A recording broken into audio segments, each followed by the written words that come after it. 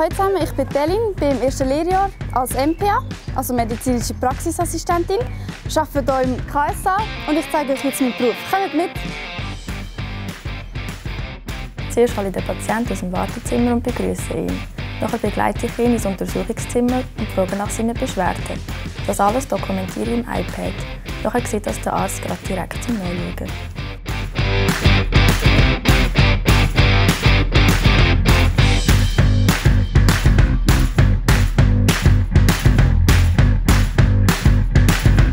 Du MPA werden willst, solltest du Interesse an Medizin und Naturwissenschaften haben.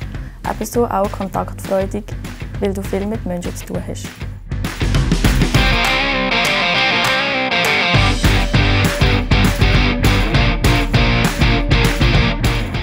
Mit dem Röntgen können wir schnell feststellen, ob etwas gebrochen ist.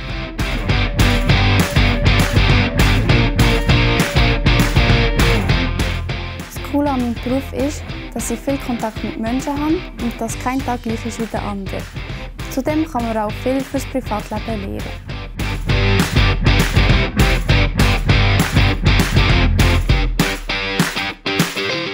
Wir suchen Menschen mit Herz. Gehörst auch du dazu? Dann bewirb dich jetzt als medizinische Praxisassistentin im KSA.